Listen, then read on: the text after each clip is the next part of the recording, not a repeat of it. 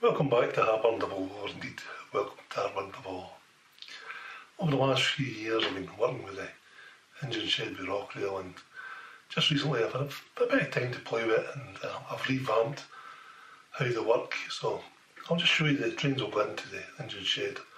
Once they're in there, after 5 seconds the doors will close. I'll then bring them back out, the doors will open and after 5 seconds the doors will close. So let's see, let me show you uh, how it works first.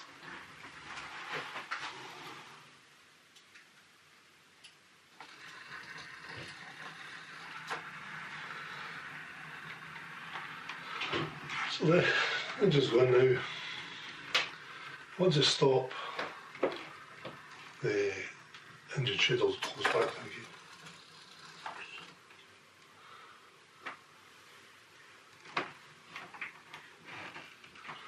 So that's them in there. I'll put them back out one at a time.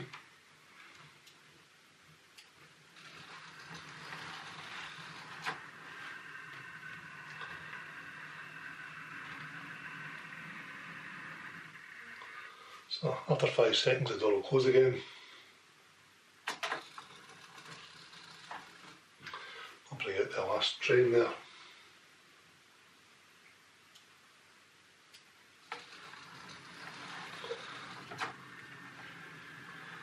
That comes out. I've also got a slow train, uh, the little uh, class 08 uh, the little shunt here, so I'll bring that out.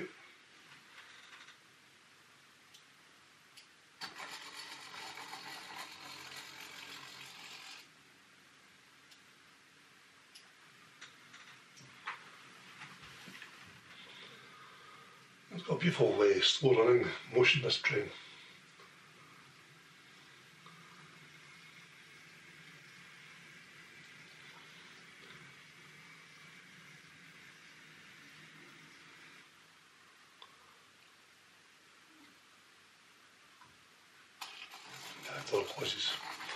So I'll take across to Rocrail and I'll show you how to set this up.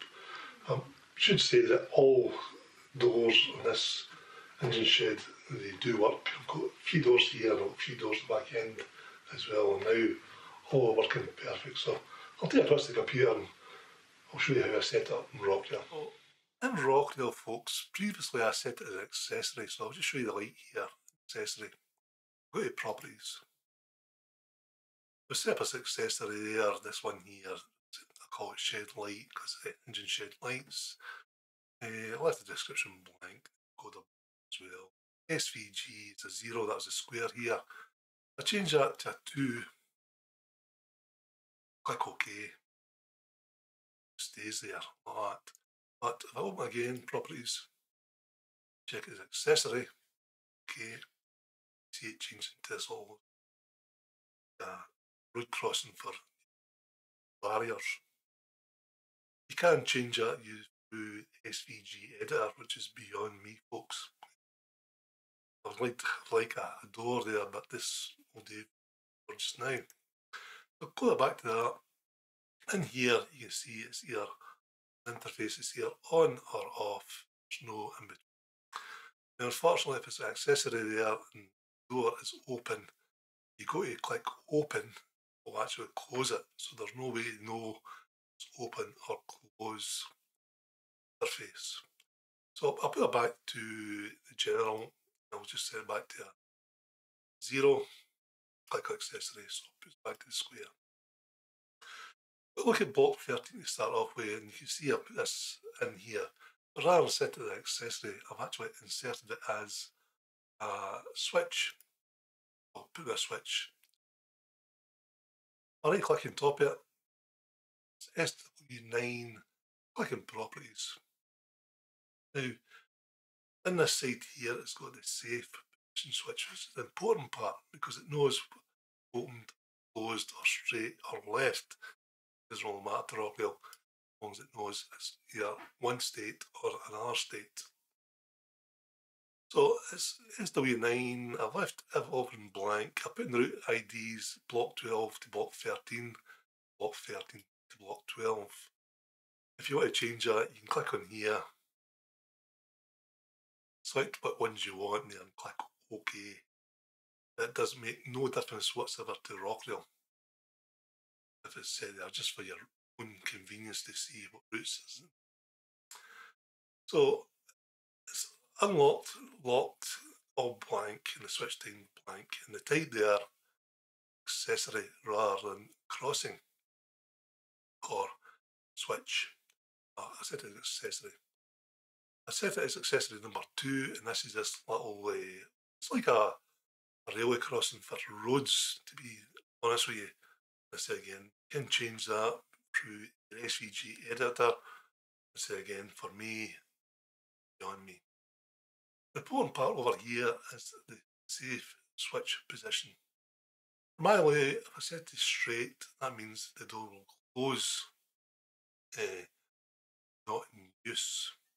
Now the safe switch position can get changed. Uh, you go to, come out of that now, go to edit, file, Rocrail properties, go into automatic. I'll go down here, right hand side to switch, switch safe position timer.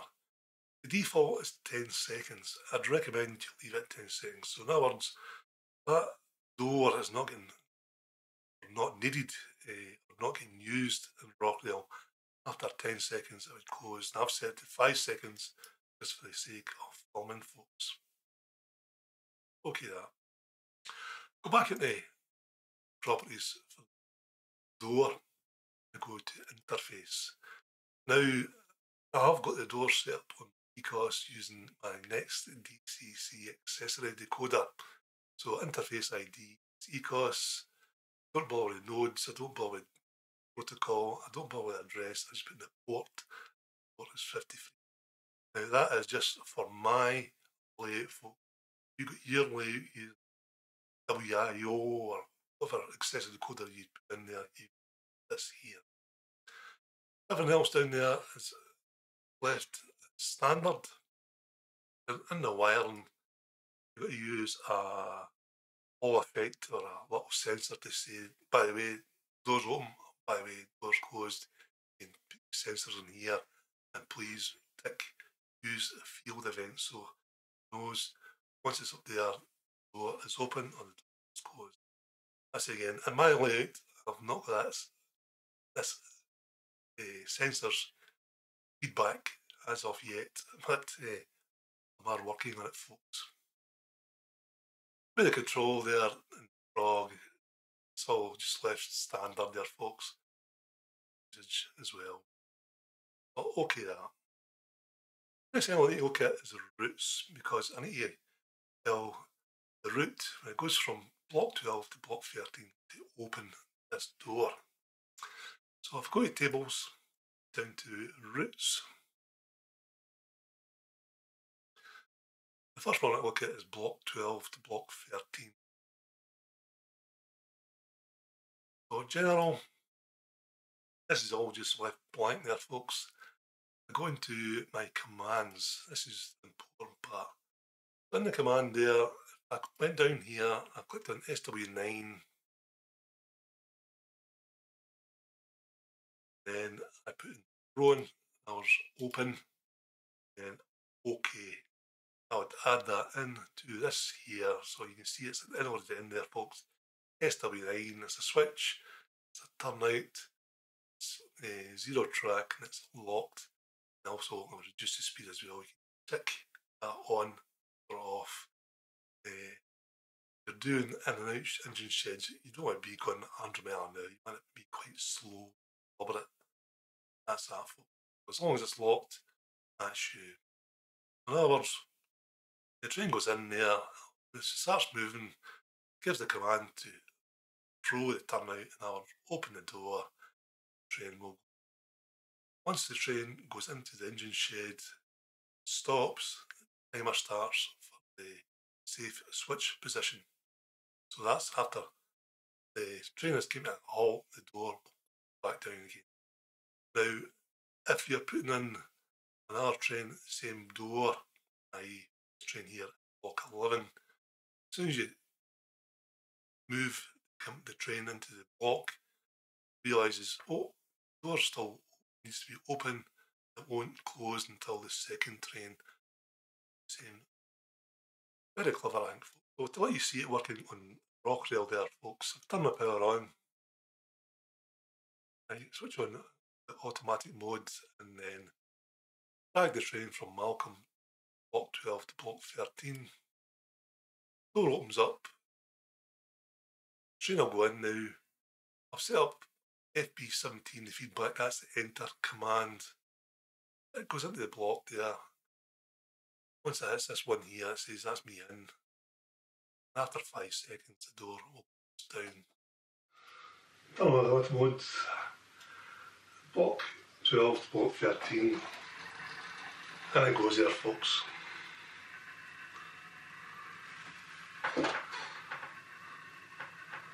And once it goes into the shed and it stops, I'll start the, the five second timer to bring the door back down again.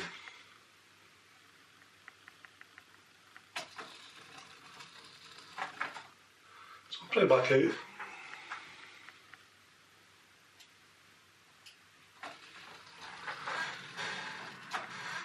Now before I had a set up using actions and accessories there and all messing about but I think this way is a lot simpler. Even I could manage to program in, so yeah, I hope you enjoyed it folks. Please leave a like, comment, subscribe, whatever you want there folks. Cheers, bye.